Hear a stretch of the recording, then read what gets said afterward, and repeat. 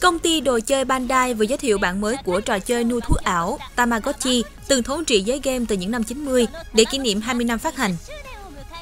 Món đồ chơi vẫn giữ nguyên thiết kế đồ họa với 6 nhân vật chính, nhưng nhỏ hơn phiên bản cũ. Đặc biệt, máy chỉ được tái phát hành ở Nhật Bản.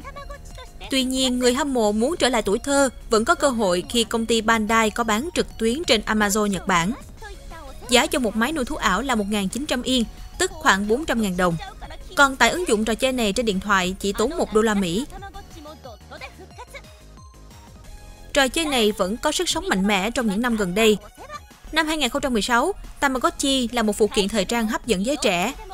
Năm 2013, phiên bản móc khóa những người bạn Tamagotchi được ra mắt.